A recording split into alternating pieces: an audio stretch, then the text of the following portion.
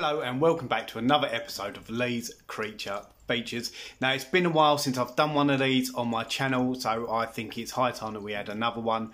This is going to be a competition, uh, much like what you've seen me do before on the channel. If you haven't seen the enclosure build competitions that I've done before, do go and check them out because there's some awesome um, enclosure built on there. I obviously take part every time as well, although I don't uh, obviously enter because I'm the one running the competition. I just like to take part. But we have say, had some truly incredible entries and some amazing winners. So do go and check those out. So what are we doing this time? So this time what we're going to do, we're going to do a Halloween enclosure in time for Halloween. So all entries has to be in by the 28th of October. Um, only a couple of rules really. The um, enclosure has to be uh, practical, so it has to be able to be used as an enclosure but it doesn't have to feature an animal in it.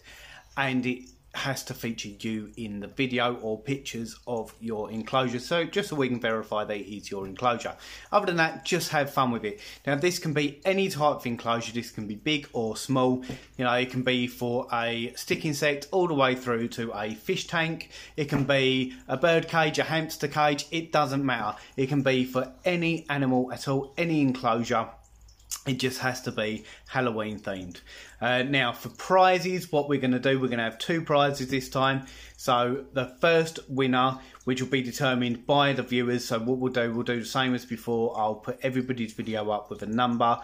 Uh, you vote for your favourite in the comment section below. The one with the highest votes will win. Now, the first prize will be a massive um, creature crate crate specialised just for you, um, and the and also a load of Lee's creature features goodies that I have here as well. And the runner up will get a Lee's creature features goodie bag.